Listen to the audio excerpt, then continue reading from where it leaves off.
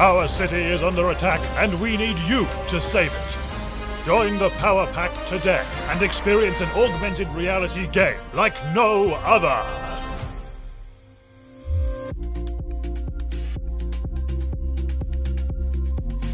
Consumer behavior is changing fast, and network operations needs to adapt as the new 5G landscape emerges.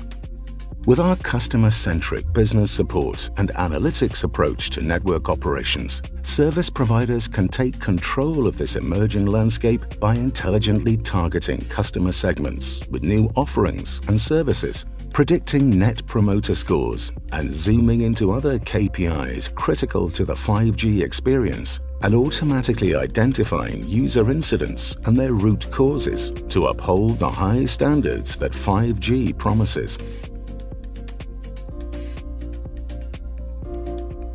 This service provider is using our business support systems for monetization and intelligent recommendations. Based on established usage habits, they've identified the perfect target audience for the launch of a bundled 5G AR headset subscription and game, PowerPack AR. The campaign is a success, and more and more consumers respond by purchasing the bundled headset and game. As players explore the augmented reality, the service provider keeps a close eye on net promoter scores for AR headset users. Low latency and minimal lag are essential here, and the teams must preemptively take action to maintain customer experience. This service provider is also exposing cell traffic conditions to the game provider to direct players to areas of the network that are currently seeing low traffic,